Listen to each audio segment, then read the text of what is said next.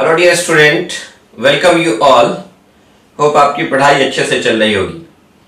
तो बच्चों last class में हमने जो देखा था वो देखा था कैपेसिटेंस निकाला था हमने डिफरेंट टाइप्स ऑफ़ कैपेसिटर का।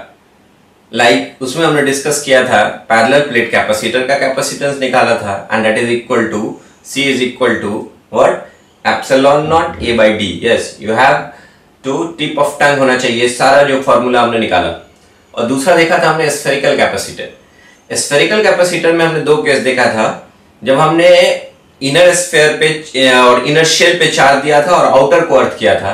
इन दैट केस कैपेसिटेंस मेरा आया था that is C outer C O that is equal to four epsilon naught R one into R two divided by R two minus R one और फिर case B में हमने देखा था, when some charge is given to the outer sphere and inner sphere या inner shell is earth.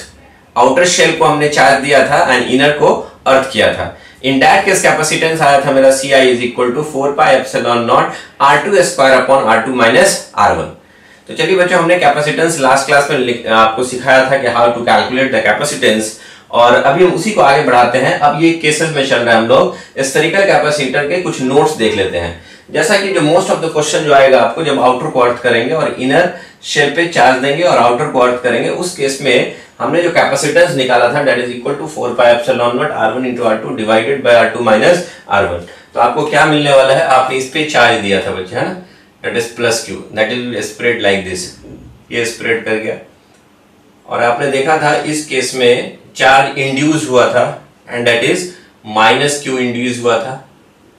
Outer shell के inner surface पे। और उस केस में that will behave like spherical capacitor and the capacitance of this spherical capacitor हमने obtain किया था how much that is 4 pi epsilon naught r1 into r2 divided by r2 minus r1 अब बच्चे, आप ध्यान से देखेंगे। अगर कंडीशन ऐसा होती है again you can see that capacitance depends on their radius geometry and also the epsilon naught what is the medium present between the shell between the shell conducting shell के अंदर में क्या मीडियम है, उस बात पे भी डिपेंड करता है। तो बच्चों, अब हम इस डिस्कशन को आगे जब बढ़ाएँगे, इसमें एक दो कंडीशन देख रहे एक दो सिचुएशन देख रहे हैं that is very very important तो वो क्या है बच्चे, कि अगर R1 R के बराबर हो जाए, और R2 जो है, वो इतना बड़ा हो जाए कि इंफिनिटी पे चला जाए। तो हमने यहाँ पे एक केस लिखना है बच्चे, ध्यान से देखिएगा दैट इज़ केस वन अगर सिचुएशन ऐसा हो जाए if R1 is equal to R and R2 is infinity. That is very very, that is very very large. अगर R2 बहुत बड़ा हो जाए, इतना बड़ा हो जाए R1 R1 R के बराबर और R2 इंफिनिटी पे चला जाए that is very very large तो उस केस में आपका सिचुएशन कैसा बनेगा? वो अगर हम बात करें तो वो सिचुएशन कुछ ऐसा होगा, ध्यान से देखिएगा।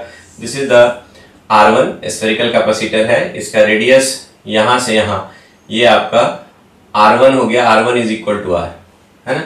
और ये जो आपका R2 है, यहाँ ध्यान से देखेंगे जी, ये वाला। तो ये जो आपका R2 है, वो कहाँ चला गया? दैट इज़ इंफिनिटी बहुत बड़ा हो गया। यू कैन सी बहुत दूर में चला गया। तो आप इसका ऐसा मानेंगे कि इस स्फेरिकल कैपेसिटर का एक ही रेडियस है और दूसरा रेडियस कहाँ है? इंफिनिटी पे। तो ऐसे कैपेसिटर को हम लोग कहेंगे आइसोलेटेड कैपेसिटर क्या बोलेंगे? आइसोलेटेड स्फेरिकल स्फेरिकल कैपेसिटर जिसका एक रेडियस जो होगा, वो फाइनाइट होगा और दूसरा कहाँ पे होगा? इनफाइनाइट पे होगा। Then what will be the capacitance in this case तो हम यहाँ से इसके फॉर्मूला से लिखेंगे वी नो दैट अभी हमने लिखा भी है बोर्ड पे we know that what is the capacitance? That C is equal to 4 pi epsilon naught, यहाँ से जो फॉर्मूला था ये R1 one into R two divided by R two minus R one है ना? अब हम लोग इसमें वैल्यू कुछ पुट करेंगे। पुट करने के पहले हम फिर से थोड़ा बैक जाते हैं इसके डेरिवेशन में। इसके बैक डेरिवेशन में अगर आप जाएँगे you will find like this four pi epsilon naught और यहाँ से जो R2 to by are one है, उसको नीचे ले जाए तो नीचे के नीचे चला जाएगा। That is one by R two minus R one यहाँ जो R one into R two था, उसको नीचे ले that is R one into R two तो what you will get here आपको ये मिलने वाला है four pi epsilon naught one upon यहाँ देखेंगे बच्चे, जब आर टू में डिवाइड करेंगे R one into R two से तो R2 R2 कैंसिल हो जाएगा यहाँ होगा आपका one by R one minus R1 में जब डिवाइड करेंगे R1 वन इंटू आर से तो R1 कैंसिल हो जाएगा that is equal to one by R ये हमने शुरुआत के डेरिवेशंस में आपको बताया था now put the value of r1 and r2 here r1 is equal to r रखना है and r2 is equal to infinity रखना है then what you will see here that is 4 pi epsilon naught 1 divided by and what is the value of r1 r1 is r and what is the r2 r2 is infinity and 1 by infinity is equal to 0 तो आपको बचेगा क्या यहाँ पे देखिए 4 pi epsilon naught 1 divided by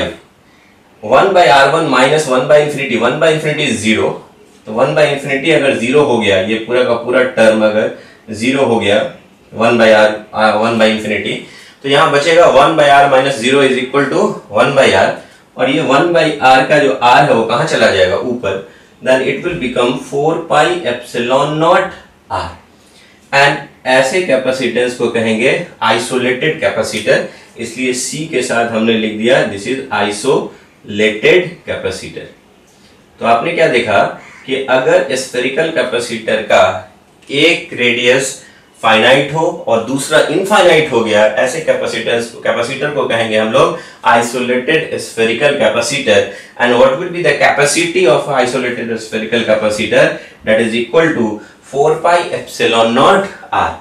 And you can see the capacity of isolated capacitor is directly proportional to R तो radius जितना बड़ा होगा कैपेसिटी ऑफ़ आइसोलेटेड कैपेसिटर उतना ही या कैपेसिटेंस ऑफ़ आइसोलेटेड कैपेसिटर उतना ही ज़्यादा बड़ा होगा।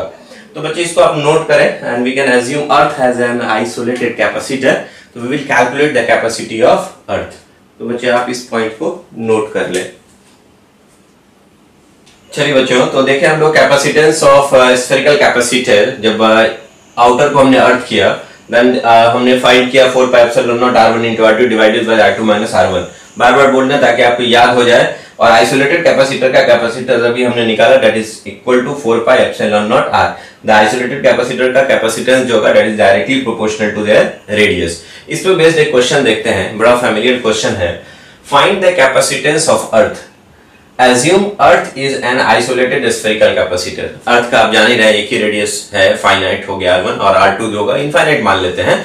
तो बोला गया कि अगर you assume earth is an is an isolated capacitor spherical capacitor then what will be the capacity of earth तो इतने बड़े अर्थ का कैपेसिटेंस कितना होगा? And you know that capacitance depends on radius not depends on the charge और applied voltage तो बच्चे we know that what we write here we know that we know that अगर आपने अर्थ को एक स्फेरिकल आइसोलेटेड कैपेसिटर समझ रहे हैं, मान रहे हैं then the capacity of isolated capacitor is equal to four pi epsilon naught R R E is the radius of earth यहाँ स्मॉल आर मानते हैं और अब आइसोलेटेड के जगह पर हमने लिख दिया, ये अर्थ का कैपेसिटी कैलकुलेट कर रहे हैं। You can write it like this four pi epsilon naught and this is the radius of earth and you know that what is the radius of earth then radius of earth is uh, equal to you know that 6400 kilometer 6400 kilometer and what will be in meter that will be 64 uh, into 10 to the power 3 meter so what you will get and 1 by 4 pi epsilon naught is 9 into 10 to the power 9 and 4 pi epsilon naught जब लिखना होगा Then what is the capacity of earth that is uh, 1 by 4 pi epsilon naught is 9 into 10 power 9 then 4 pi epsilon naught is equal to 1 upon 9 into 10 to the power 9 ध्यान से देखेंगे बच्चे that is 4 pi epsilon naught का value लिखा हमने and re is 6400 uh, into 10 to the power 3 तो हमने ऐसा यूनिट में रखा तो farad is the unit of capacitance हो जाएगा, है ना? रेडियस को भी एसआई में रखा, ये four four five seven, naught का वैल्यू भी हमने एसआई में रखा then the unit of capacitance will be in farad then how what we will get here जब इसको सॉल्व करेंगे you will get here 711.1 into 10 to the power minus 6 farad जब आप इसको सॉल्व करेंगे बच्चे तो ध्यान से देखें। 64 है 9 है 7 9 63 के आसपास। तो उसे कट करेंगे तो ये आएगा और डबल ज़ीरो है तो यहाँ पे ये आ जाएगा और ये टेन पावर जो है नाइन ऊपर जाएगा माइनस नाइन और प्लस थ्री है that is minus six then you will get here this 10 to the power minus 6 is equal to micro, microfarad. You will get here 711.1 microfarad. तो आप देखें, इतने बड़े अर्थ अर्थ का साइज़ आप देख रहे हैं। और इतने बड़े अर्थ को अगर आपने आइसोलेटेड कैपेसिटर माना है तो उसका कैपेसिटेंस आप किसमें देख रहे हैं बच्चे? Just see here this is in microfarad तो हमने शुरू में ही कहा था, आपको capacitance is a very large very big unit of capacitance इसलिए इतने बड़े अर्थ का कैपेसिटेंस भी अगर हम कैलकुलेट करते हैं तो वो आता है किसमें है? दैट इज़ माइक्रोफेराड में। तो सोचिए फेराड कितना बड़ा यूनिट होगा। तो that is very very important कभी कभी आपसे पूछे भी जाते हैं कॉम्पिटिशन में भी और बोर्ड के एग्जामिनेशन में कि find the capacitance of the earth इसको एकदम रट लीजिए, याद भी कर लीजिए साथ साथ को 711.1 microfarad is the capacitance of earth तो बच्चे जस्ट इसको नोट किया जाए. The student see another example यहाँ पे an identical small isolated spherical capacitor है. These are what n identical, small, isolated, spherical capacitor, each having capacitance c. इसका capacitance smaller वाले का c है। या सी एस से हमने लिखाया that is the capacitance of an identical small isolated spherical capacitor जिसमें से छोटे वाले एक स्फेरिकल आइसोलेटेड कैपेसिटर का कैपेसिटेंस हमने सी एस या सी के बराबर लिखा। अगर ये कॉम्बाइन करके एक लार्ज आइसोलेटेड स्फेरिकल कैपेसिटर बन जाए, जिसका कैपेसिटेंस Cl है, Cl stand for the capacitance of large spherical isolated capacitor then what will be the relation between C larger and C smaller मतलब मुझे यहाँ पे जो निकालना है बच्चे, वो C larger is equal to how much times of C smaller है ना? ये आपको निकालना है। तो बच्चे what you will see here अगर हमने छोटे वाले का रेडियस स्मॉल आर ले लिया और बड़े वाले का रेडियस कैपिटल आर ले लिया then what will be the relation between small R and capital R जब आपने देखा यहाँ पे कि an identical small spherical isolated capacitor को कॉम्बाइन कर रहे हैं तो जब कॉम्बाइन करेंगे तो वॉल्यूम को अगर सेम रखें, है ना कॉम्बिनेशन के पहले कॉम्बिनेशन के बाद तो इसका जो वॉल्यूम होगा that is four by three pi R cube एक आइसोलेटेड कैपेसिटर का वॉल्यूम मल्टीप्लाइड बाई एन ऐसा ऐसा कितना है? एन सब मिलाएँगे तो एक लार्ज आइसोलेटेड कैपेसिटर बनेगा, जिसका रेडियस है कैपिटल आर तो उसका वॉल्यूम हो जाएगा four by three pi capital R cube तो what you will see here four by three pi four by three pi cancel हो जाएगा। And capital R upon small R capital R को इधर ही रहने दीजिए। स्मॉल आर को उधर ले जाएँ। और ये भी क्यूब है और ये भी क्यूब है। तो ये ओवरऑल क्यूब लिख सकते हैं बच्चे। That is equal to N हमने क्या किया? एन को यहीं रहने दिया। कैपिटल आर को उधर स्मॉल आर को उधर ले गए। तो capital R cube by small R cube को लिख सकते हैं। Capital R by small R का whole cube that is equal to N then what you will get here that capital R upon small R is equal to अगर यहाँ cube है उधर जाएगा तो एन के पावर क्या हो जाएगा? One by three we have to find what ये आ गया इक्वेशन नंबर वन हमें निकालना था दोनों के कैपेसिटेंस का ratio then capacitance of larger isolated capacitor इसका. You know that capacitance of isolated capacitor is here four pi epsilon naught R radius पर डिपेंड करता है. तो you can write here four pi epsilon naught capital R and what is the capacitance of smaller तो C smaller smaller अगर इसका capacitance देखेंगे बच्चे that is equal to 4 pi epsilon not small r तो आप क्या फाइंड करोगे बच्चे ये 4 pi epsilon not जो होगा वो तो कैंसिल हो जाएगा that will came here capital R upon small r and what is the value of capital R upon small r जो हमने पहले कैलकुलेट करके रखा that is equal to n के power 1 by 3 then you will see you can write is n के power 1 by 3 So finally we see that the capacitance of larger isolated capacitor will be equal to n k power 1 by 3 times of capacitance on the smaller cap isolated capacitor. This is very very important.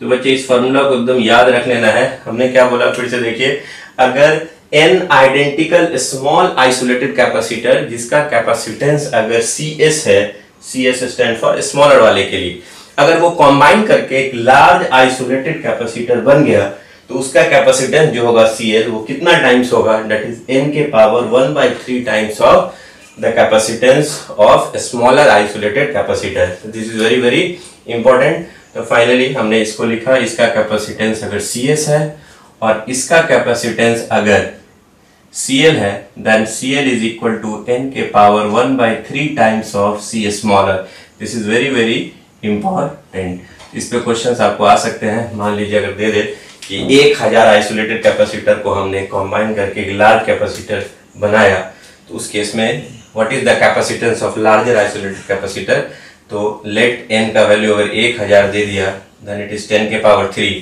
और C smaller अगर सी दे दिया और पूछा कि सी larger क्या होगा तो you put the value in that equation C larger बराबर एन के power one by three times of C smaller तो सी लार्जर का जो आइसोलेटेड कैपेसिटर का जो कैपेसिटेंस होगा। एन के जगह पे लिखेंगे टेन के पावर थ्री और इसके power one by three into C smaller तो what you will see here ये ये कैंसिल हो जाएगा and C larger is equal to ten times of C smaller that is ten C अगर smaller का value C smaller का value C दिया हुआ है तो लार्जर का जो कैपेसिटेंस होगा, वो उसके स्मॉलर का टेन टाइम्स होगा। तो यू कैन सी एक हज़ार आइसोलेटेड कैपेसिटर को अगर हमने मिलाया और एक लार्ज आइसोलेटेड कैपेसिटर बना तो उसका कैपेसिटेंस पहले वाले के टेन टाइम्स ज़्यादा हुआ। तो बच्चे these are very very important इन सारे पॉइंट्स को आप नोट कर लें। ये पूछे जाते हैं, ये क्वेश्चन इस पे based now see dear student second case अगर स्फेरिकल कैपेसिटर का radius R one and R two are very very large अगर एक स्फेरिकल कैपेसिटर का radius R one and R two बहुत बहुत बड़ा हो जाए and the distance between the R two and R one का जो डिफरेंस होगा that is equal to D मान लें तो हमने लिखा यहाँ पे कि इफ़ केस टू में if R one and R two are very very large अगर स्फेरिकल कैपेसिटर का जो रेडियस है R one and R two दोनों बहुत बहुत बड़ा हो जाए and R2 minus R one approximately equal to D हो जाए, दोनों के रेडियस का difference then what will be the capacitance of the spherical capacitor तो बच्चे आप ध्यान से देखेंगे, कहने का मतलब क्या है कि R1 and R2 these are the spherical, these are the spherical conducting shell जो हमने बोला यहाँ पे, और यहाँ से यहाँ let it be R one ये जो आपका दूरी है दैट इज़ आर वन और ये वाला जो दूरी है that is equal to R two और ये सेंटर है कहीं पे, है ना? तो देख रहे हैं कि दोनों जो कर्व है, जो शेल का जो कर्व है, जो देख रहे हैं सेंटर ऑफ़ कर्वेचर से रेडियस बना रहा है आर वन और दूसरा क्या बना रहा है R two this R one and R two are very very large and the difference in their radius अगर इन दोनों के बीच का जो डिफरेंस है that is R two minus R one approximately equal to D मान लें. Then what will be the capacitance of this spherical capacitor this is very very important हम ध्यान से देखेंगे बच्चे अगर R1 and R2 are very very large है तो हम यहाँ पे ऐसे भी लिख सकते हैं if uh, R1 and R2 are very very large इतना बड़ा है कि आप मान लीजिए कि R1 वन अप्रोक्सीमेटली R2 के बराबर है and that is equal to R मान लें है ना और दोनों का डिफरेंस कितना है? That is R two minus R one is equal to D हमने इतना बड़ा मान लिया आर वन आर टू ये लगभग R one R two R के ही बराबर है। और एक तरफ़ बोल रहे हैं कि देखिए अप्रोक्सीमेशन है ये। और दोनों का डिफरेंस ऑलरेडी दिया हुआ है that is the equal to the D तो we know that what is the equation of capacitance तो इक्वेशन ऑफ़ कैपेसिटेंस बच्चे, मुझे पता है स्फेरिकल कैपेसिटर का that is equal to four pi epsilon naught here you can write it like this R1 into R two divided by R two minus R one इसमें put कर दे बच्चे। तो what you see here this is four pi epsilon naught हमने यहाँ से लिखा है। That is four pi epsilon naught और R1 और R2 अप्रोक्सीमेटली अगर बराबर ही मान लें तो ये R, ये भी R, ये भी R तो ये हो जाएगा आर स्क्वायर और नीचे what will be the difference that R two minus R one is approximately D तो आपको क्या मिलेगा बच्चे, वो ध्यान से देखेंगे। You can see the capacitance of a spherical capacitor is equal to 4 pi epsilon naught. तो हम एप्सिलॉन नॉट को हम यहाँ पहले लिख देते हैं। ध्यान से देखेंगे। थोड़ा रीअरेंज कर रहे हैं। एप्सिलॉन नॉट पहले लिखा four pi four pi R square लिखा और नीचे लिखा डी है ना? वही चीज़ लिखा हमने यहाँ पे, कोई अलग से नहीं लिखा। फोर पाई आर स्क्वायर को एक साथ कर दिया एप्सिलॉन नॉट को बाहर कर दिया। And what you will see here four pi epsilon four pi R square तो कहेंगे अगर स्फेयर का, अगर, या शेल का, अगर सरफेस एरिया देखें that is equal to four by R square this will be the area of the sphere you can say that is epsilon naught A by D तो इस केस में आप क्या देख रहे हैं कि स्फेरिकल कैपेसिटर का capacitance this A is the four pi R square area of the capacitor area of the sphere कह सकते हैं। और क्योंकि R1 R2 लगभग बराबर ही है और बहुत बड़ा है तो आप कह सकते हैं कि this is the surface area of the sphere तो what you will see this is the capacitance of spherical capacitor और इसका वैल्यू किसके बराबर आ गया epsilon naught A by D और हमने आपको पढ़ाया बच्चे epsilon naught A by D is the capacitance of yes very good it is the capacitance of parallel plate capacitor तो आपने क्या देखा? ये बहुत इंपॉर्टेंट पॉइंट यहाँ पे हमने लिखा है बच्चे, इसको एकदम याद कर लेना है, समझ भी लेना है। तो क्या लिखा हमने? कि अगर किसी स्फेरिकल कैपेसिटर का रेडियस अगर बहुत बड़ा हो जाए, बहुत बहुत बड़ा हो जाए तो कैसा बिहेव करेगा? तो that will behave like the parallel plate capacitor and its capacitance is equal to epsilon naught A by D तो एक्चुअली पैरेलल प्लेट कैपेसिटर भी तो वही है। तो पैरेलल प्लेट कैपेसिटर पैरल कब हो जाएगा? अगर ये स्फेयर है, जैसे जैसे रेडियस बढ़ाएँगे, वो बिल्कुल देखिएगा प्लेन के जैसा दिखने लगेगा। अगर कोई बड़ा सा रेडियस है, जैसे अर्थ ही है अर्थ क्या है? स्फेरिकल है। लेकिन अर्थ पे खड़े होकर के हम देखते हैं तो क्या मिलता है मुझे? अर्थ एक प्लेन की तरह दिखता है। तो अगर रेडियस क्योंकि अर्थ के रेडियस बहुत बड़ा है, जहाँ पे हम खड़े हुए हैं तो वहाँ से अगर हम देखेंगे तो मुझे प्लेनर एरिया दिखेगा। तो इसी तरह से अगर कोई स्फेयर है और जितना ज़्यादा दूर जाएँगे, ये मुझे ये जो एरिया मिलेगा that is the planar behave like the parallel plate capacitor अगर छोटा सा होगा तो ये देखिए कर्व दिख रहा है, और जाएँगे दूर पे थोड़ा कम कर्व दिखेगा। बहुत ज़्यादा दूर पे चले जाएँगे तो ये जो सरफेस होगा दूर कैपेसिटर का, ये दोनों कैसा बिहेव करेगा? That will be the parallel plate capacitor के जैसा and the capacitance will be equal to epsilon naught A by D तो जस्ट हमने लिखा, क्या लिखा है फाइनली समराइज कर दें, कि केस टू में अगर R1 R2 बहुत लार्ज हो जाए and the difference in their radius ADI is let it be D then the spherical capacitor का जो कैपेसिटेंस होगा that is equal to the capacitance of PPC मतलब parallel plate capacitor this is very very important note it down Hello dear student, now see what is the capacitance of spherical capacitor. तो हमने बच्चों अभी derive करके आपको दिखाया last lectures में भी दिखाया था when the when you take a capacitor a spherical capacitor they have a two conducting shell inner shell of radius r1 and outer shell has a radius r2 इसमें हमने दो कंडीशन लिया था दो केस लिया था हमने केस ए में लिया था हमने कि जब हम आउटर शेल को अर्थ करेंगे तब कैपेसिटी कितना आएगा कैपेसिटेंस कितना होगा? तो हमने लिखा C outer is equal to हमें आया था फोर पाई एप्सिलॉन नॉट आपको याद भी होगा बच्चे R one into R two divided by R two minus R one where R is greater than R one और इसी स्फेरिकल कंडक्टर के जब हम इनर शेल को अर्थ करते थे, और आउटर शेल पे कुछ चार्ज देते थे, और फिर हम उसका कैपेसिटी कैलकुलेट करते थे तो हम लोगों को आया था C C I I for inner inner को अर्थ किया हमने। That is equal to four pi epsilon naught R two square upon R two minus R one ये बच्चों, आपको याद होगा। तो ये हमने देखा था स्फेरिकल कैपेसिटर के कैपेसिटेंस को कैलकुलेट किया था। दो कंडीशन बताया था हमने, एक में इनर को अर्थ किया और एक में आउटर को अर्थ किया और दोनों का कैपेसिटेंस हमने आपको निकाल करके लास्ट क्लास में दिखाया था। तो बच्चे, आप यहाँ पे खुद से देखो कि किसका कैपेसिटेंस ज़्यादा होगा, जब आउटर को अर्थ करेंगे या इनर को अर्थ करेंगे। तो बच्चों, आप देखेंगे क्या कि फोर पाई एप्सिलॉन नॉट यहाँ भी है और यहाँ भी है। यहाँ R one into R two है और यहाँ आर टू स्क्वायर है। मतलब R two is greater than R one है और यहाँ देखिए R two minus R one दोनों में कॉमन है। तो आप देखेंगे सिर्फ़ डिफरेंस है यहाँ R one into R two और यहाँ आर टू का स्क्वायर है।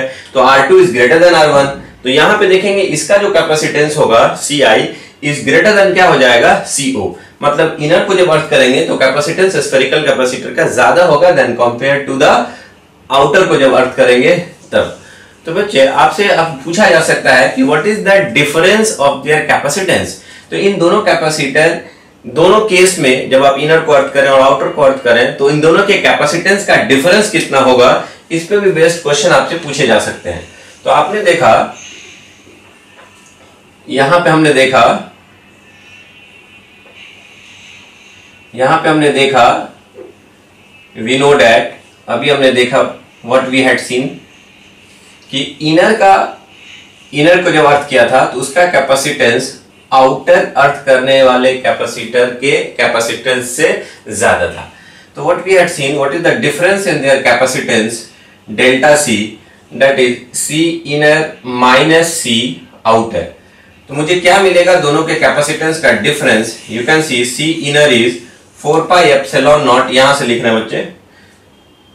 That is R two square upon R two minus R one और आउटर को जब अर्थ किया, तब आपका जो कैपेसिटेंस आया दैट इज़ इक्वल टू यहाँ से देखेंगे बच्चे four pi epsilon naught R one into R two divided by R two minus R one आप देखेंगे ध्यान से, इन दोनों में कॉमन क्या है, उसको हम बाहर कर लें।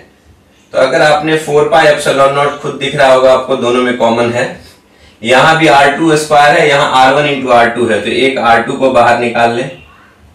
और नीचे R two minus R one दोनों में कॉमन है तो R two minus R one को भी हमने बाहर निकाल। लिया तो अंदर में क्या बचा? देखिए, आपने यहाँ छोड़ा एक आर टू और यहाँ क्या छोड़ा आपने? दैट इज़ आर वन फिर से मिला लीजिए।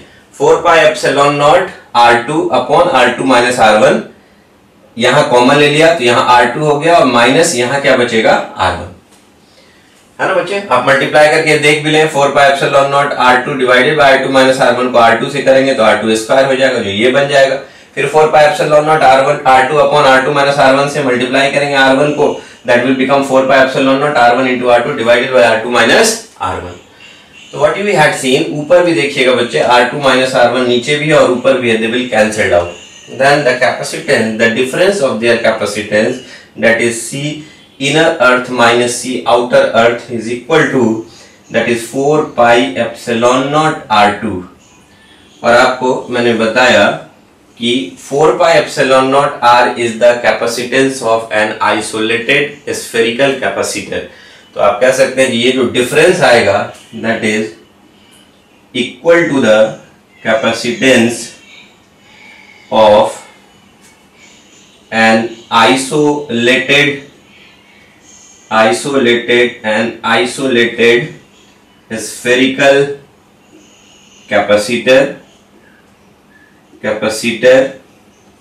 spherical isolated capacitor of radius r2 so what you had seen the difference of their capacitance will be equal to the equal to 4 pi epsilon naught R2 that is the capacitance of isolated spherical capacitor of radius R2 कोई एकलौता capacitor होता R2 radius का तो मतलब एक एक ही shell अगर उसमें होता जिसका रेडियस R2 है तो उसके कैपेसिटेंस के बराबर होता इन दोनों के कैपेसिटेंस का difference that is very very important आप इसको नोट कर लें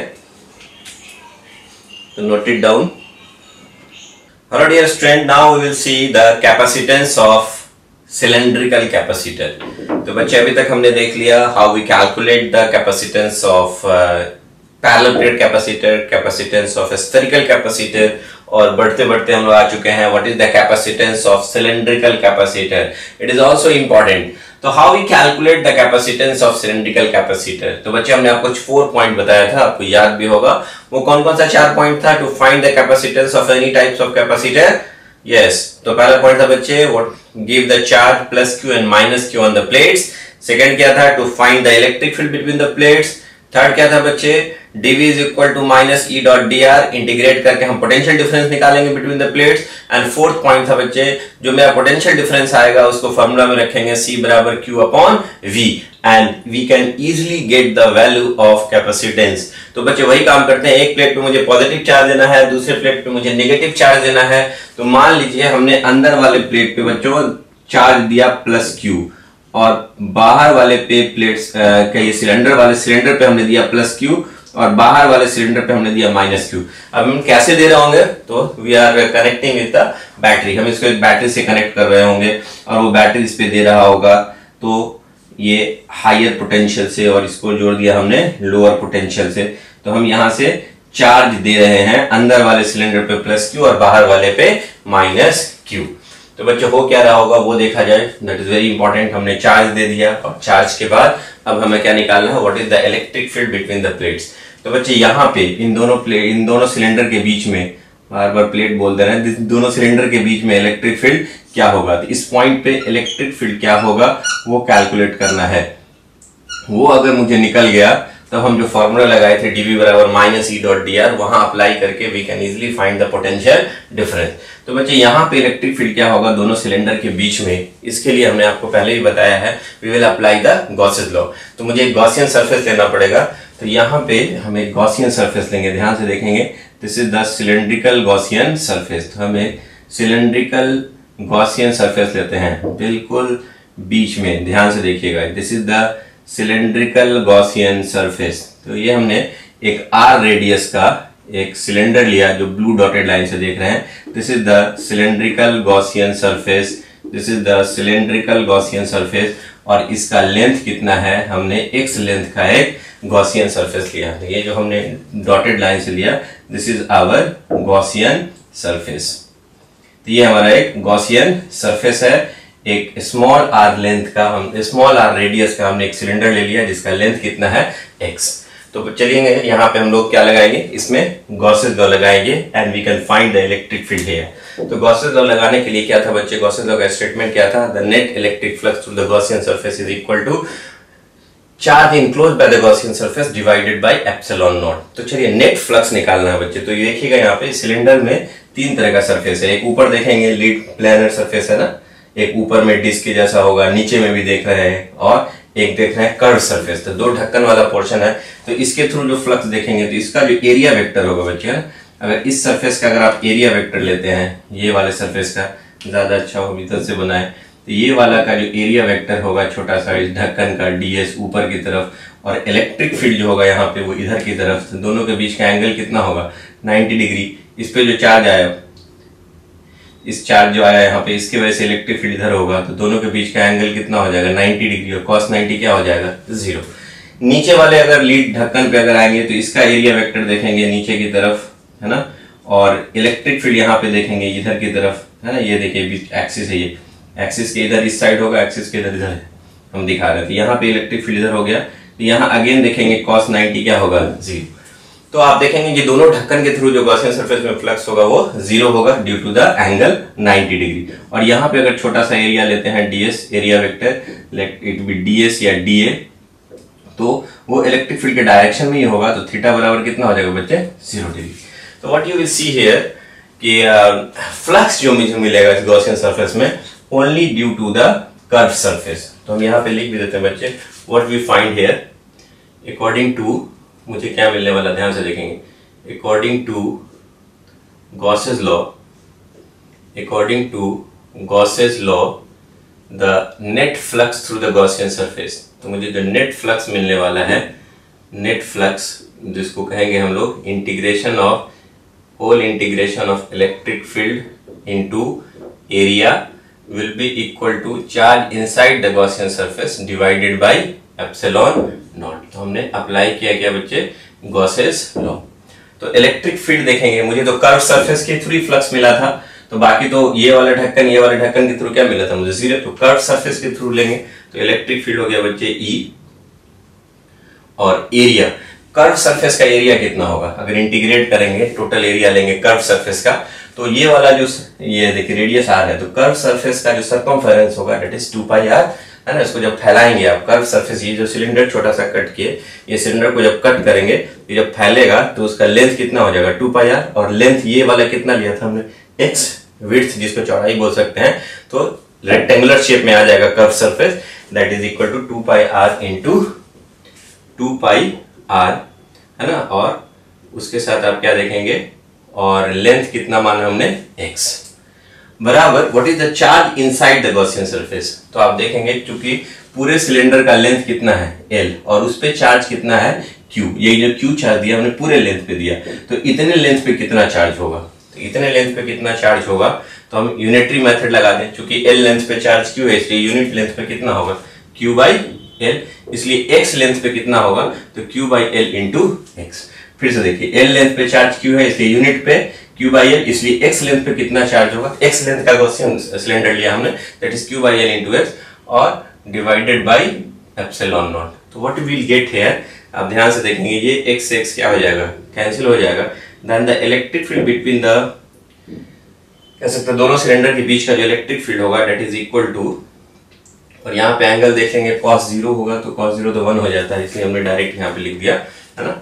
और you will get here Q upon two pi, इधर लाइए, two pi, epsilon naught L और ये आर चला जाएगा इधर।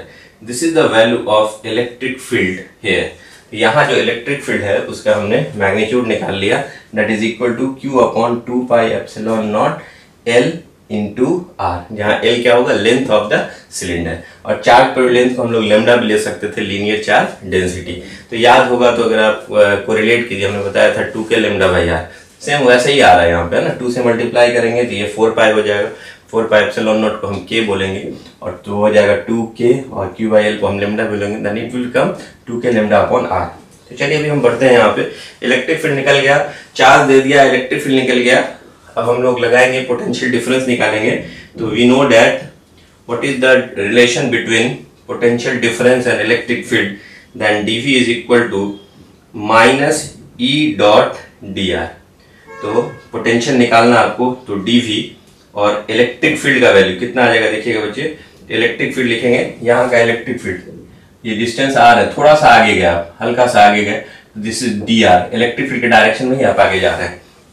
तो इलेक्ट्रिक फ़ील्ड आपका हो जाएगा कितना? That is Q upon two pi epsilon naught L into R D R और cos zero degree electric field के डायरेक्शन यहाँ पे इलेक्ट्रिक फ़ील्ड आर डिस्टेंस पे इलेक्ट्रिक फ़ील्ड ई है। थोड़ा सा आगे गया डी आर जो हमने नीचे करके दिखाया this is the D R और डी आर इलेक्ट्रिक फ़ील्ड का डायरेक्शन क्या है? सेम है, इसलिए कॉस ज़ीरो लिखा।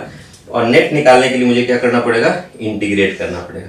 अब इंटीग्रेट में आपको प्रॉपर लिमिट भी डालना है है ना?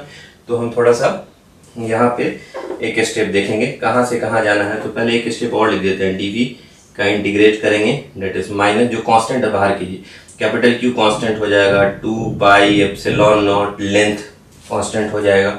यहाँ आपको बचेगा D R upon R integrate करेंगे। टोटल चार्ज कांस्टेंट है लेंथ कांस्टेंट है, two by epsilon naught constant है। अब ये वेरिएबल किसके टर्म में आएगा? आर के टर्म में। तो आपको कहाँ से कहाँ जाना है? यहाँ से यहाँ के बीच देखना है पोटेंशियल डिफरेंस दोनों सिलेंडर के बीच। तो यहाँ पे जो आर का वैल्यू होगा this R is equal to R one और यहाँ पहुंचेगा तो आर वन का वैल्यू कितना हो जाएगा? आर टू तो यू विल सी हियर नीचे आर वन अंदर वाले सिलेंडर का रेडियस बाहर वाले सिलेंडर का रेडियस इज़ आर टू है ना? अंदर वाले पे जब है, जब रेडियस आर वन है, यहाँ पे small R is equal to R one और यहाँ पहुँचेंगे तो small R is equal to R two तो यहाँ का पोटेंशियल जो है, वो वी वन है पॉजिटिव पोटेंशियल और V two is the negative charge इस पे दिया उसका पोटेंशियल तो यहाँ का पोटेंशियल आपका हो गया वी वन इस सरफेस का और इस सरफेस का पोटेंशियल वी टू तो देख रहे हैं तो आपका कितना आ जाएगा बच्चे, ध्यान से देखेंगे। dv का इंटीग्रेशन v हो जाएगा और upper limit minus lower limit that is V two minus V one is equal to what you will get here that is minus q upon two pi epsilon naught L जो यहाँ पे था हमने वो लिखा।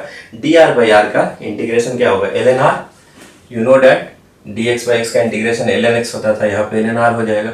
और लिमिट रख दीजिए, कहाँ से कहाँ? दैट इज़ आर वन से लेकर के आर टू तक अब बच्चे, आप इस माइनस को इधर भेज दीजिए तो माइनस पे इधर भेजेंगे then it is become V one minus V two तो आप देख लीजिएगा, क्योंकि आप जो वी वन जो है, वो हाइयर पोटेंशियल पॉजिटिव से जुड़े हुए हैं हाइयर पोटेंशियल और ये क्या आपका लोअर पोटेंशियल है? इसलिए हमने इस माइनस को इधर भेज दिया।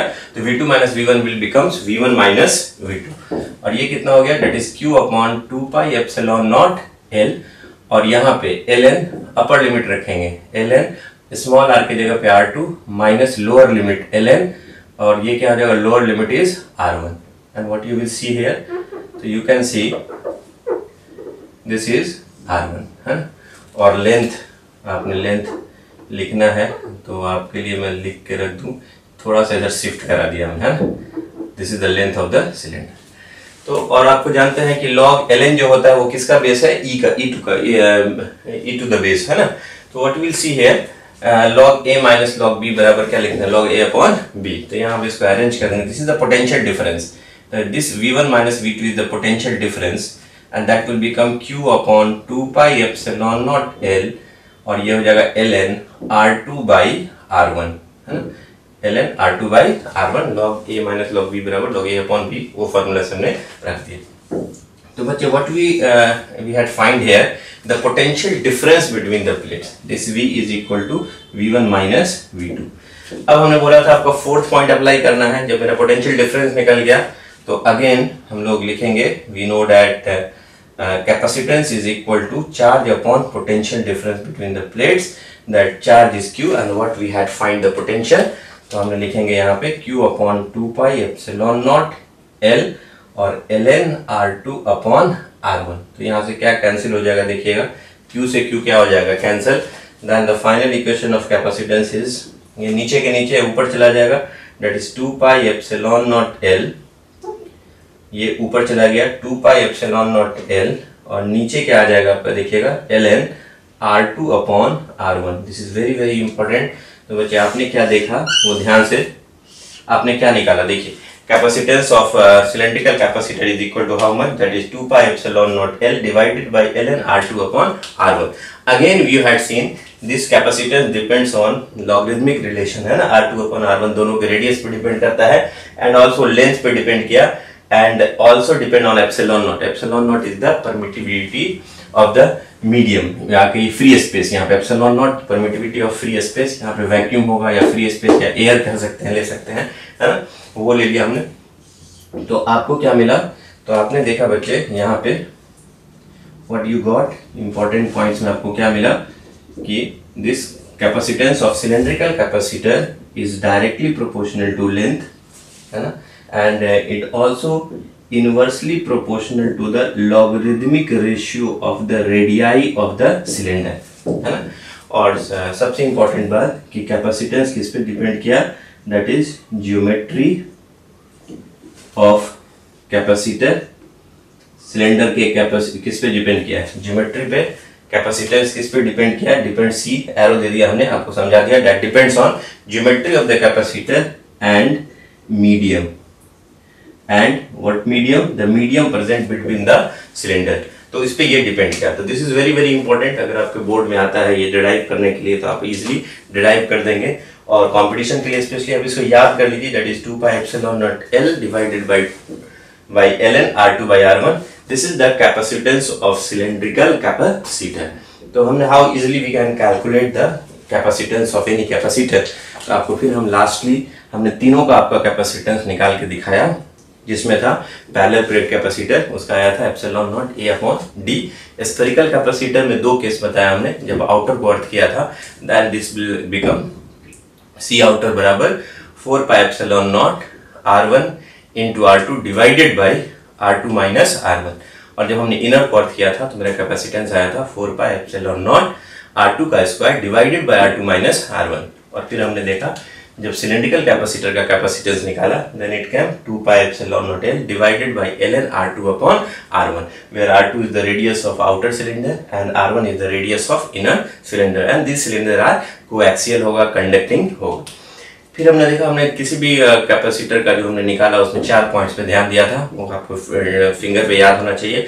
चार्ज देंगे by connecting the battery second में एक पे प्लस क्यू दूसरे पे माइनस क्यू सेकंड केस में क्या किया था बच्चे हमने? इलेक्ट्रिक फ़ील्ड फाइंड किया था दोनों प्लेट्स के बीच में। एंड थर्ड में क्या देखा था हमने बच्चे?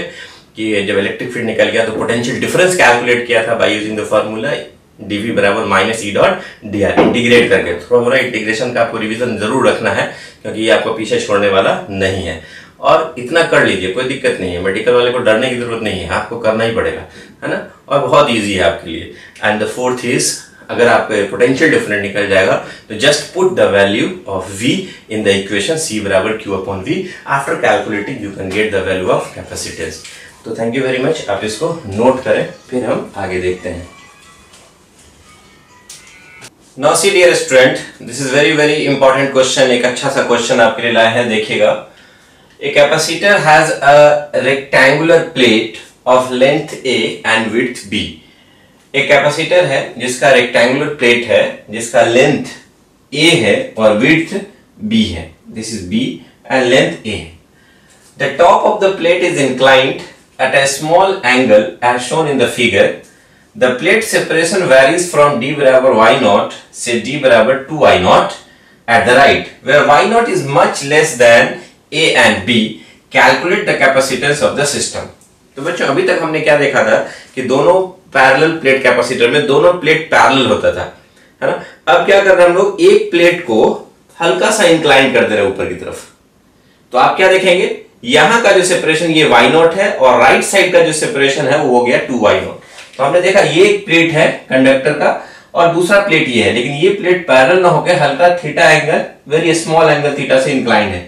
तो ये वाला जो एंड है, वो दोनों के बीच का सेपरेशन वाई नॉट है डी और जब यह यहाँ पहुँचा तो ये सेपरेशन क्योंकि आप हल्का सा उठा दिए हैं तो ये सेपरेशन हो गया two Y naught length of the plate A दिया हुआ है, और विड्थ जो है आपका, वो बी है। इसका भी लेंथ ए है और विड्थ बी है। पूछा गया है कि बताइए कि calculate the capacitance of the system तो अगर हम एक प्लेट को थोड़ा सा angle small angle theta naught से अगर उठा दिया तो पूछा गया कि what is the what is the capacitance of the system इस सिस्टम का कैपेसिटेंस कितना होगा? और एक चीज़ बोला जा रहा है बच्चे, कि ये जो y नॉट या टू वाई नॉट है that is much small y naught is much small then a and b.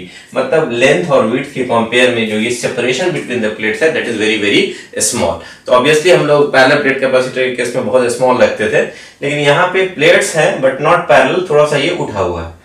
तो चलिए बच्चों, हम लोग इसका निकालते हैं। कैसे इसका कैपेसिटेंस निकालेंगे? That is very very good question अगर आपका दोनों पैरेलल रहता देन आप कह देते epsilon naught A by D but यहाँ पे तो पैरेलल है नहीं, हल्का सा ये उठा हुआ ऊपर वाला प्लेट तो आप कैसे निकालेंगे इसको?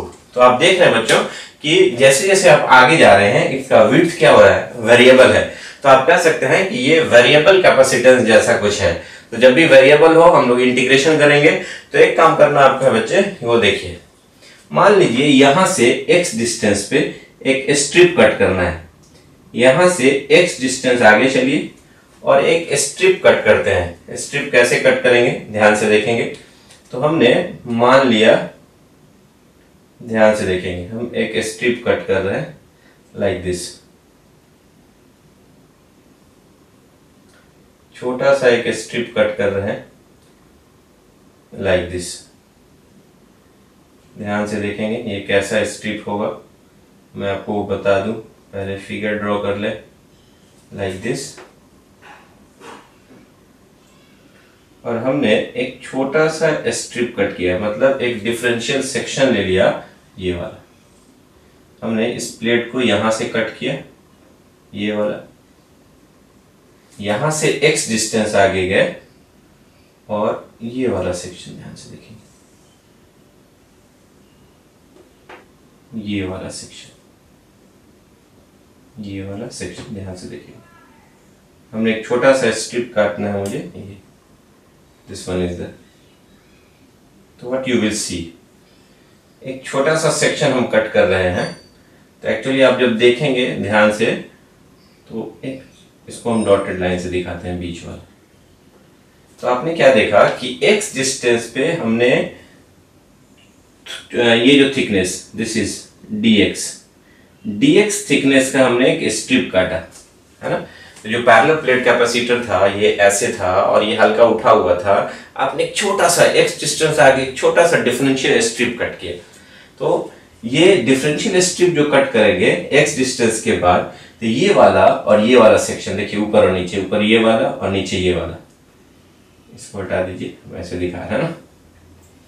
तो आपने जो छोटा सा सेक्शन dx यहाँ से x डिस्टेंस है और dx स्ट्रिप जो काटा आपने, वो एक छोटा सा पैरेलल प्लेट कैपेसिटर जैसा होगा ना? हल्का सा तिरछा होगा, उसको इग्नोर करेंगे, मानेंगे कि ये पैरेलल प्लेट कैपेसिटर है, ये वाला और ये वाला। तो व्हाट यू विल सी कि हमने बोला यहाँ पे कि वी कंसीडर हमने कंसीडर किया what we consider consider a differential strip हमने एक डिफरेंशियल स्ट्रिप लिया ऑफ़ विड्थ जिसकी चौड़ाई dx है एंड लेंथ लेंथ कितना होगा इसका? B होगा। ध्यान से देखिएगा। यहाँ से यहाँ इसका लेंथ कितना हो जाएगा? आप ध्यान से देखेंगे। ये जो स्ट्रिप काटा, इसका लेंथ b है और ये वाला क्या है आपका? dx. तो एक छोटा सा स्ट्रिप जब कट करेंगे एक्स डिस्टेंस के बाद तो ये स्ट्रिप और ये स्ट्रिप जो पैरल प्लेट जैसा दिखेगा तो उसका एरिया कितना होगा, ठीक है? एंड अप्रोक्सीमेट एरिया कितना हो जाएगा? And approximate area of differential strip differential strip जो आपने लिया, उसका एरिया कितना होगा? That is B into X और उन दोनों के बीच का सेपरेशन कितना होगा? ऊपर वाला स्ट्रिप और नीचे वाले स्ट्रिप का बीच का सेपरेशन कितना होगा? देखिए तो आप देख रहे हैं कि ये एक्चुअल में, ये लाइन इस लाइन के पैरेलल था। लेकिन ये हल्का सा क्या है? ये उठा हुआ है। तो यहाँ पे ये कितना होगा? यहाँ से इसके, इस स्ट्रिप के और इस स्ट्रिप के बीच का सेपरेशन कितना होगा? तो यहाँ पे रहता तो ये वाई नॉट है, लेकिन जैसे जैसे हम आगे जा रहे हैं, ये ऊपर की तरफ़ उठता जा रहा है है जैसे जैसे ये पैरल नहीं है, ये उठा हुआ है। तो जैसे जैसे हम आगे जाएँगे एक्स डिस्टेंस तो ये वाला फैक्टर जो उसमें जुड़ेगा। यहाँ से यहाँ तो वाई नॉट हो जाएगा। ये जो है आपका ये वाई नॉट है। लेकिन जब यहाँ से थोड़ा ऊपर जाएँगे, थोड़ा सा आगे गए यहाँ से यहाँ तो ये वाला डिस्टेंस उसमें ऐड होगा। ये कितना ऐड होगा? और जितना ऐड होगा, वही इसके और इस स्ट्रिप के, जो छोटा सा स्ट्रिप लिए है, उसके, के बीच का डिस्टेंस होगा। तो what you will see here तो हम बोल सकते हैं यहाँ पे कि the separation the separation between strip will be कितना होगा वो बताइए। तो will be D is equal to Y naught plus थोड़ा सा यूनिटरी मेथड लगाइए, है ना? यहाँ से यहाँ तो वाई नॉट होगा ही, और ये कितना होगा? तो चूँकि यहाँ से यहाँ प्लेट का लेंथ कितना है ए है और ये ए है तो आप क्या देख रहे हैं बच्चे? कि अगर यहाँ से यहाँ ए जाते हैं तो यहाँ वाई नॉट है और इस कॉर्नर पे पहुँचे तो प्लेट के बीच का सेपरेशन टू वाई नॉट हो गया। तो आप क्या देख रहे हैं? What is the value of this one तो अगर इस एंड का वाई नॉट है और जब यहाँ जाते हैं तो ये इतना उठ गया कि ये टू वाई नॉट के बराबर हो गया। तो आप क्या देख रहे हैं कि ए लेंथ आगे जाने पे जो लेंथ ऊपर, जो डिस्टेंस ऊपर राइज किया, वो two Y naught minus Y naught that is equal to कितना हो जाएगा? ये देखिए that is two Y naught minus Y naught is equal to Y naught तो आप क्या देख रहे हैं? जब प्लेट ऐसे रखा हुआ था, ऐसे उठा दिए। तो जब यहाँ से यहाँ गए तो उसके बीच के सेपरेशन में डिफरेंस कितने का आया? That is two Y naught हो गया। यहाँ वाई नॉट था, यहाँ टू वाई नेट था। ये जो डिफरेंस आया, कितना ये ऊपर उठ गया दूसरा एंड राइट वाला लेफ़्ट वाले की तुलना में तो वाई नॉट कितना डिस्टेंस आगे गया? तो आप कह सकते हैं कि प्लेट का जो लेंथ था वो ए था। जब ए लेंथ आगे गया तो उन दोनों के बीच का जो सेपरेशन जो है बढ़ करके पहले वाई नॉट था, अब टू वाई नॉट हो गया। तो चूँकि आप क्या देख रहे हैं क्योंकि ए डिस्टेंस आगे जाने में, यहाँ से यहाँ ए डिस्टेंस आगे जाने में दोनों के बीच का सेपरेशन वाई नॉट बढ़ता है। इसलिए यूनिट डिस्टेंस यूनिट लेंथ आगे जाने में इन दोनों के बीच का सेपरेशन कितना होगा? You will write here Y naught by A या आप क्या कहेंगे? आप कितना आगे जा रहे हैं? ये स्ट्रिप कितना आगे है? दैट इज़ एक्स इसलिए एक्स डिस्टेंस आगे जाने में ये कितना होगा? तो Y naught by A into X then what you will see here तो यहाँ से यहाँ का वाई नॉट था और ये जो हो गया, कितना एक्स डिस्टेंस आगे जाने में, इन दोनों प्लेट के बीच का सेपरेशन कितना बढ़ जाएगा? That is Y naught A by X तो you will write new separation will be Y naught plus Y naught by A into X तो बच्चे, आपको एक बार फिर से फिगर बता दें कि एक्चुअल में ये कुछ ऐसा सिचुएशन था। ये ऐसे उठा था, है ना? तो यहाँ पे जो स्ट्रिप लिया हमने, ये वाला, छोटा सा स्ट्रिप और यहाँ एक स्ट्रिप है, ये वाला। है ना? डीएक्स थिकनेस का। फिर से मैं समझा दे रहा हूँ आपको। अब इन दोनों के बीच का सेपरेशन कितना हो गया बच्चे? तो यहाँ से यहाँ आपका वाई नॉट था। और थोड़ा सा और आगे बढ़ गए। जब आप थीटा आगे जा रहे हैं, कितना? एक्स डिस्टेंस तो जब आप एक्स डिस्टेंस आगे जाएँगे तो ये वाला जो बढ़ा, वो कितना बढ़ा? ये वाला।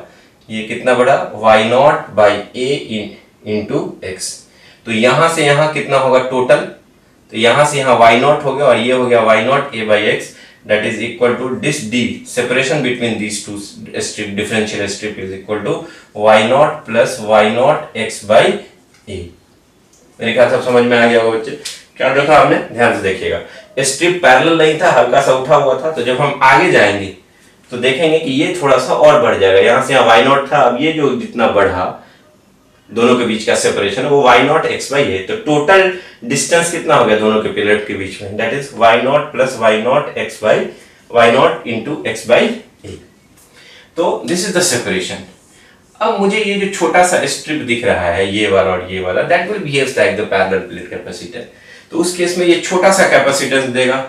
That DC is equal to parallel plate के जैसा epsilon naught A by D epsilon naught इसका एरिया कितना होगा? तो हमने अभी एरिया लिखा। एरिया क्या हो जाएगा? बी इंटू डी और divided by separation epsilon naught हो गया ए हो गया, और डी यहाँ से यहाँ तक का डिस्टेंस वो कितना आ गया? Y naught plus Y naught by A into X तो ये मेरा क्या निकला बच्चे? That is the differential strip जो हुआ that will behaves like a plate capacitor उसका कैपेसिटेंस जो होगा that is very very small that is equal to DC अब मुझे नेट निकालना है। तो जब डीसी को इंटीग्रेट करेंगे that will give the net capacitance of the system then आप जब इंटीग्रेट करेंगे बच्चे तो ध्यान रखिएगा। डीसी के जगह पे ये रख देंगे। Epsilon naught B into D X divided by Y plus Y naught plus Y naught by A into X अब देखेंगे बच्चे क्या क्या कांस्टेंट है, बाहर आ जाएगा। You will see here epsilon naught B बाहर आ जाएगा। अंदर क्या बचेगा, वो ध्यान से देखेंगे। Integration D X divided by Y naught plus Y naught by A into X अब आप देखेंगे ये x आपका वेरिएबल है। वाई नॉट कॉन्स्टेंट है ए भी कॉन्स्टेंट है बी भी कॉन्स्टेंट है एप्सिलॉन नॉट अब कॉन्स्टेंट है। तो उसको छोड़ दीजिए तो वेरी क्या पकड़ेगा? तो जब आप यहाँ से यहाँ जाइएगा तो कितना वेरी करेगा? ये ए का वैल्यू या x का वैल्यू अभी यहाँ पे ज़ीरो है, यहाँ पे X is equal to zero है। जब आप यहाँ पहुँचेंगे तो एक्स इज़ इक्वल टू क्या हो जाएगा? ए तो यहाँ पे एक्स के टर्म में लिखेंगे तो ये ज़ीरो से लेकर के ए तक इंटीग्रेट करेंगे and that will give the value of the capacitance तो बच्चे, आप इसको नोट कर लीजिए। फिर हम यहीं से आगे आपको इंटीग्रेट करके दिखाएँगे कि what will be the value of capacitance of this system तो नोट इट डाउन फिर हम आगे प्रोसेस करते हैं। Now let us see This c is equal to epsilon naught b integration dx upon y naught plus y naught x upon a. Integrate करना है मुझे zero से लेकर के a तक। तो बच्चे, यहाँ से लेकर के यहाँ तक जाना है आपको। X के वैल्यू को देन देखना है आपको कि नेट कैपेसिटेंस c कितना होगा। तो बच्चे, हमने पढ़ा था इंटीग्रेशन में dx अपॉन x का इंटीग्रेशन आपने जो पढ़ा है, dx अपॉन x का इंटीग्रेशन ln x होता है। तो आपने यहाँ देख रहे हैं क्या बच्चे? dx है और नीचे y नॉट प्लस सिर्फ़ x नहीं है। x के साथ y naught plus Y naught X by है। तो इसको कैसे सॉल्व करेंगे? तो घबराना नहीं है बच्चे आपको। बिल्कुल नहीं इंटीग्रेशन से घबराना नहीं है। मेडिकल में लोग घबरा जाते हैं, लेकिन आपको नहीं घबराना है, क्योंकि देखिए वेरी सिंपल जो डी के साथ अगर एक्स है तो नीचे भी वही चीज़ होना चाहिए। तो एक काम की जो नीचे है, वही डी के साथ भी होना चाहिए। नहीं है तो हम मान लेंगे। मानने में क्या जाता है अपना? ध्यान से देखिएगा। तो जो नीचे है Y naught plus Y naught by A into X जो एक्स यहाँ है, वही डी के साथ होना चाहिए। नहीं है तो हमने मान लिया कि डी के साथ वही है। Y naught plus y naught x upon a ही है। तो अगर आपने मान लिया ऊपर तो नीचे भी मानना पड़ेगा ताकि वैल्यू में कोई चेंजेस ना आए। तो y naught x upon a यहाँ भी मान लिया। और जो डी एक्स था, वो डी एक्स हमने ऊपर में लिख दिया। अब आप देखिए, ये और ये कैंसिल हो जाएगा, फिर से डी एक्स अपॉन वही हो जाएगा जो पहले था। लेकिन अब आपका ये इक्वेशन इस फॉर्म में आ चुका है। यहाँ x के जगह पे क्या है? Y naught plus y naught x upon a है। तो अब इसका क्या हो जाएगा बच्चे? तो अब आप वो फॉर्मूला लगा दीजिए, यहाँ एप्सिलॉन नॉट बी और यहाँ हो जाएगा, जैसे एल एन एक्स था तो यहाँ एल एन और एक्स के जगह पूरा का पूरा जो ब्रैकेट में है y naught plus y naught into x upon a और लिमिट डाल दीजिए लिमिट कहाँ से, कहाँ तक था? ज़ीरो से लेकर के ए तक तो ज़ीरो से लेकर के ए तक। और यहाँ मल्टीप्लाइड बाई यहाँ ध्यान से देखिएगा। ये नीचे था आपका d y naught plus y naught x upon a और ऊपर में डी एक्स था तो डी एक्स को अगर हम नीचे ले आए तो वो नीचे के नीचे चला जाएगा। What you will see here नीचे वाला डिफरेंशियल फॉर्म में चला गया। Then what you will see आप एक बार साथ साथ लिमिट भी रखते जाते हैं। x के जगह पे अपर लिमिट ए रखेंगे, फिर माइनस करके x के जगह पे लोअर लिमिट ज़ीरो रखेंगे। तो क्या मुझे मिलेगा? L n y naught plus y naught by a और x के जगह पे ये a रखेंगे। माइनस लोअर लिमिट पूरे इक्वेशन में बैठाना बच्चों। Y naught plus y naught by a into zero bracket बंद। और यहाँ क्या मिलेगा बच्चे? ध्यान से देखिएगा इनटू वन अपॉन डिफ्रेंशिएट करेंगे d y naught upon d x और वाई नॉट कॉन्स्टेंट है, इस साइड का दिया हुआ। डी वाई डी एक्स एक इसको मल्टीप्लाई किए। और एक बार डी वाई डी एक्स से इसको मल्टीप्लाई करेंगे तो वाई नॉट बाई एक कॉन्स्टेंट बाहर है आपको डिफ्रेंशिएशन में d x upon d x तो what you will get that is very important constant का डिफरेंशिएशन क्या हो जाएगा आपको? ज़ीरो वाई नॉट का। और वाई नॉट बाई बाहर है d x upon d x one हो जाएगा। तो यहाँ क्या बचेगा आपका? वाई नॉट अपॉन ए तो यहाँ क्या हो जाएगा? ध्यान से देखिएगा बच्चों। एप्सिलॉन नॉट बी और यहाँ देखेंगे ध्यान से। एल एन और ये कितना हो जाएगा? ए एक कट जाएगा। That is become two y naught minus l n और ये तो ज़ीरो हो जाएगा y naught by a into zero zero zero plus y naught is y naught और यहाँ क्या आ जाएगा बच्चे? One upon y naught upon a तो थोड़ा सा रीअरेंज कीजिए। Then capacitance will be how much that is epsilon naught b और ये नीचे के नीचे है ए चला जाएगा ऊपर, है ना? और नीचे हो जाएगा आपका वाई नॉट और ब्रैकेट में देखिएगा l n log a minus log b बराबर लॉग ए बाई बी तो यहाँ टू वाई नॉट अपॉन ये है वाई नॉट और वाई नॉट से वाई नॉट क्या हो जाएगा बच्चे? कैंसिल हो जाएगा। Then capacitance will be equal to epsilon naught a into b area of the plate divided by y naught और यहाँ क्या हो जाएगा? एल एन टू तो this is the capacitance of the system. Now this very very important equation. What is the capacitance of the system? You can say, this is the capacitance of the system. जो variable capacitance देख रहे थे, हमने इस system का total integrate करके capacitance निकाल लिया। एक छोटा सा स्ट्रिप कैपेसिटर लिया और स्ट्रिप कैपेसिटर को इंटीग्रेट किया। तो ओवरऑल कैपेसिटेंस निकाला epsilon naught a into b upon y naught l n तो बच्चों, अगर आपका लिमिट दिया रहता लेंथ दिया रहता तो उस हिसाब से आप इंटीग्रेशन में लिमिट लिख करके आप निकाल सकते थे। समटाइम्स और भी याद रखेंगे बच्चे कि कभी कभी थीटा के टर्म में दे देता, है ना? तो थीटा के टर्म में अगर दे देता तो यहाँ पे जो वाई नॉट जो डिस्टेंस वेरी कर रहा था वाई नॉट प्लस और यहाँ पे एक छोटा सा राइट एंगल ट्रेंगल लेते, ये थीटा था अगर, है ना? तो टेन थीटा लेते तो दिस अपॉन दिस तो आप कह सकते थे ये upon x that is tan theta. तो उस केस में आपका जो ये दोनों के बीच का सेपरेशन आ जाता वाई नॉट प्लस यहाँ पे लेते अगर y naught plus x tan theta और फिर उसके बाद हम लोग उसको इंटीग्रेट करते और इंटीग्रेट करने के बाद सॉल्व करते तो एंगल के टर्म में बच्चे अगर हम बात करते और उसके बाद कुछ अप्रोक्सीमेशन वगैरह भी लेते तो अगर हम थीटा के टर्म्स में अगर हम बात करते तो in terms of in terms of angle in terms of angle वाला जो रिज़ल्ट आता that is c is equal to epsilon naught a into b epsilon naught a into b upon y naught, और bracket के अंदर लिखते बच्चे that is one minus a theta naught let it be theta naught here a theta naught upon 2 y naught है ना? Theta is very very small याद रखना बच्चे, है ना? अगर थीटा के टर्म में निकालते हैं, ये हमने अभी नहीं निकाला है डायरेक्ट निकाला हुआ हमने रिज़ल्ट लिख दिया यहाँ पे, ये, वहाँ पे बस यहाँ पे आपको चेंज करना है, और फिर लिमिट ले लेंगे। Theta is very very small तो टेन थीटा को हम थीटा से रिप्लेस कर देंगे। एंड फाइनली हम जब इसको सॉल्व करेंगे टेन थीटा नोट को थीटा नोट से रिप्लेस करेंगे। जब सॉल्व करेंगे तो मेरा ये वाला वैल्यू आएगा।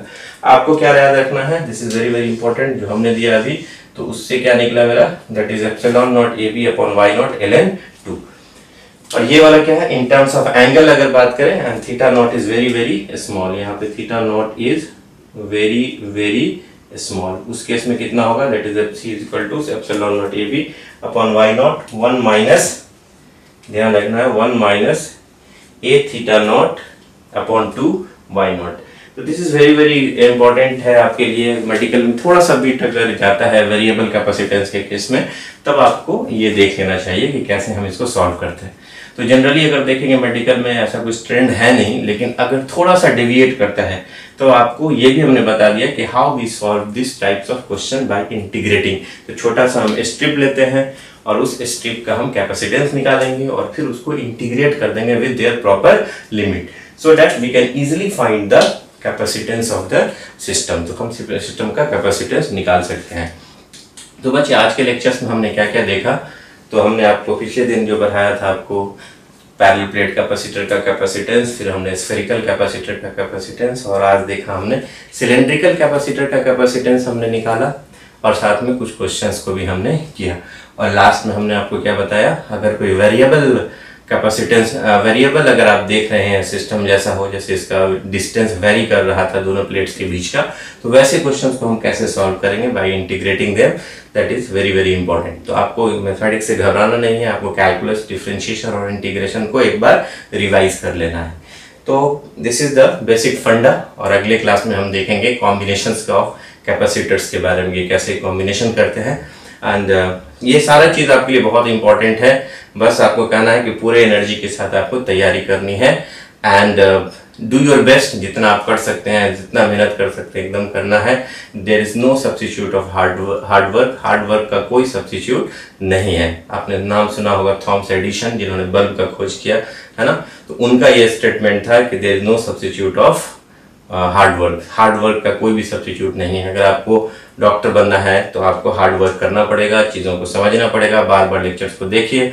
हम बार बार कहते हैं कि बिल्कुल आसान है डॉक्टर बनना। बस आपके अंदर कॉन्फिडेंस मेहनत होनी चाहिए। कॉन्फिडेंस होनी चाहिए डेडिकेशन होनी चाहिए कि यस आप ही हैं जो डॉक्टर बन सकते हैं। ये कॉन्फिडेंस आप में है। तो बहुत अच्छी बात है। बार बार चीज़ों को पढ़िए रिवाइज कीजिए। जो भी डाउट हो, उसको आप पूछ सकते हैं। And thank you being a part of Mentor जेलू sir Mentor जेलू सर से जुड़े रहने के लिए बने रहने के लिए स्टूडेंट रहने के लिए आपको प्राउड होना चाहिए और बहुत अच्छी बात है।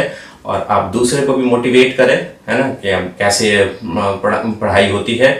और that is very very important तो आपकी जो जो चीज़ें हैं वो बिल्कुल आपको आसानी से समझ में आएगी। And thank you very much for being part of Mentors Edu sir आप इसको नोट कर लें।